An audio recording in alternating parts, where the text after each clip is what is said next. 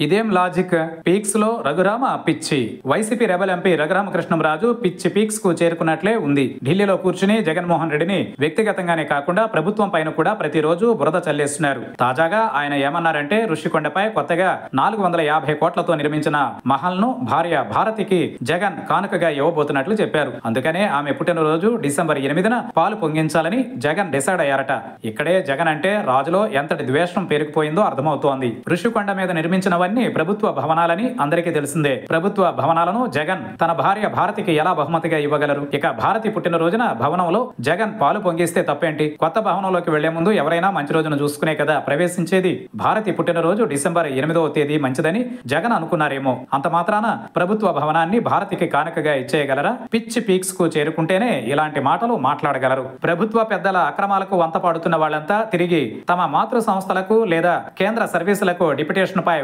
వెళ్ళిపోవాలని అనుకుంటున్నారట. అలా వెళ్ళిపోయిన వాళ్ళందరూ ఎక్కడున్నా పట్టుకుని శిక్షించడం తప్పదని ఎంపీ బెదిరించడమే విచిత్రంగా ఉంది. సీనియర్ ఐఏఎస్ అధికారి శ్రీలక్ష్మి ఐపీఎస్ అధికారి సీతారామాంజనేయులు కేంద్రానికి వెళ్ళేందుకు దరఖాస్తులు చేసుకున్నారట.